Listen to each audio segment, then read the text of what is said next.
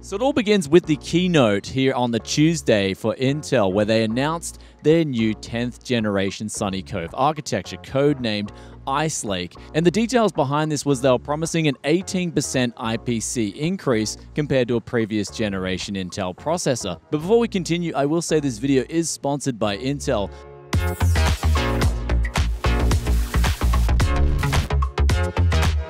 But on the back of announcing their 10th gen architecture, the true intentions of Intel came to light when they announced Project Athena 1.0. And this essentially focuses on battery life, but also having the power and responsiveness on all small form factor laptops.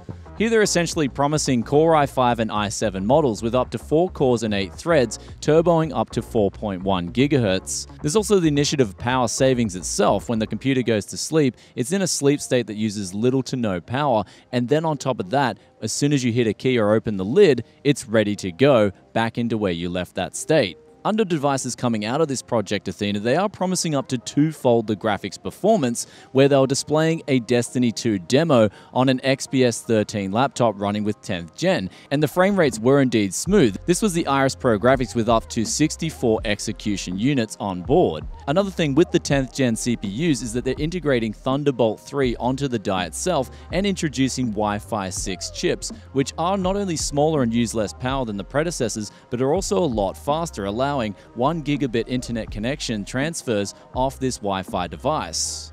Now, the form factor and interaction is a big focus here too, offering ultra slim 2 in 1 clamshell type laptops as well as 12 to 15 inch at 1080p or better with touch displays. They've also got narrow bezels on all models coming out under a Project Athena and backlit keyboards and precision touchpads with pen support. Now, I did manage to see the XPS 13 on display with a 10th gen CPU inside, and it was indeed very responsive also, in terms of Ice Lake and performance boost, they are focusing on AI. Now we did see the Hollow Set demo on display in the Intel showroom. And that was showing that you can integrate essentially video, other Skype calls, and other video games into a whole professional set that you can then use for streaming with a new tech device. This is the same company that allows for broadcasting for professional television, and they're now integrating that technology in conjunction with Intel on these 10th gen laptops. Now, the AI itself is getting a 2.5 times boost, and they were showing off some cool technology like active voice cancellation in the background of the person calling you. So you don't have to worry about having noise cancelling in your headphones, for example, if you're on a Skype conversation, because it will identify those noises in the background and then cancel them out in tandem. But the key player here is the Gen 11 graphics. They got some big changes, allowing for 4K 60 HDR natively and billions of colors running off the media engine. This is roughly roughly two times faster than the previous generation, and it can still play games whilst only using up to 15 watts of power. This is on the Iris Pro graphics with up to 64 execution units available. Now, besides Project Athena, in terms of Ice Lake, there will be 11 new SKUs ranging from the i3 series up to the i7, with again that same 4 core, 8 threaded count with over 4 GHz of max frequency. The new Optane solutions were also announced. This is the M15 drives, which can then couple with a 2 terabyte 5400 RPM drive drive, for example,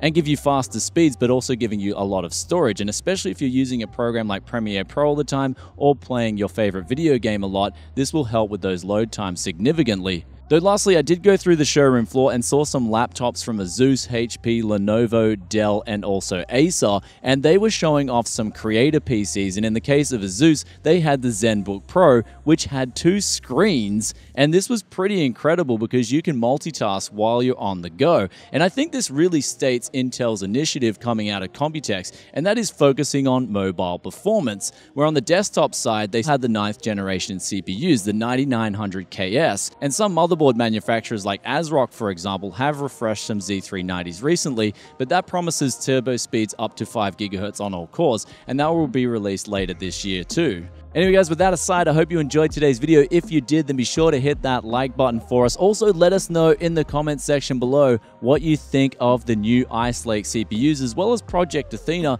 and the new mobile creator PCs. Are you digging some of these designs or are you not? Love reading your thoughts and opinions as always, and I'll catch you in another tech video very soon. Peace out for now.